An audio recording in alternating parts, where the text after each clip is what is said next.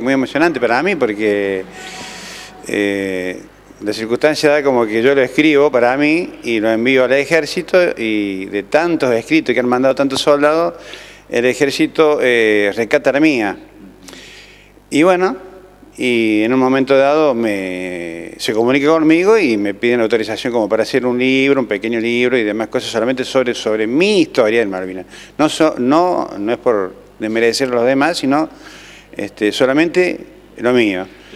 Y bueno, yo dije que sí, que estaba dispuesto a dar la autorización y que, que, lo hicieran. Bueno, el Estado Mayor lo hizo y ya está a la venta y me llegó a mi casa muy contento porque de lo que yo puse no han quitado absolutamente nada. ¿Cómo se hace para bueno, poder conseguir los ejemplares de este, no de este se libro? Vende en ninguna librería, simplemente por internet tenés que poner mi nombre, eh, entrar por internet, poner mi nombre, Salta 74 días de Malvinas, es una librería virtual, está el precio del libro, el precio de envío, y por supuesto tenés que registrarte como corresponde, y te llega a tu casa. Ese es solamente todo lo que vos tenés que hacer. Pesaresi narró para Panorama algunas de las inolvidables experiencias que le tocó vivir en las islas según quien te cuente. Yo te cuento mi historia, vos vas a contar otra historia, él va a contar otra historia. Eh, no todas la pasamos iguales.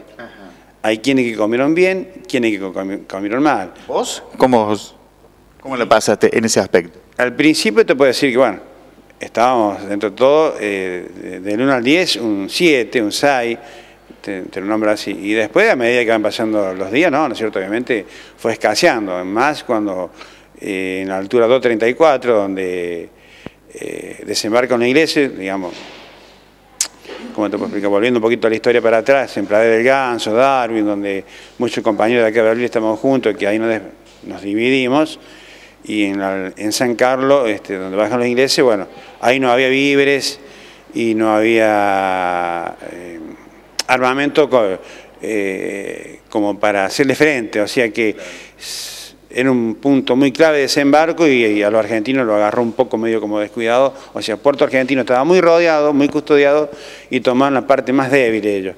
Y bueno, nosotros con solo las dos, eh, la sección Gato, donde yo la, la cual yo pertenecía, eh, le hicimos frente con una otra sección del Regimiento 12 a la desembarcación de los ingleses. Ahí empieza una odisea de la cual nosotros, obviamente, combatimos, pero a su vez este, tuvimos que retroceder, replegarse para atrás. Y ahí empieza una, empieza una de 21 días, la cual este, no teníamos que comer, la supervivencia fue dura, eh, empezó los congelamientos de manos, compañeros que han perdido los pies, compañeros que han perdido las piernas completas, digamos.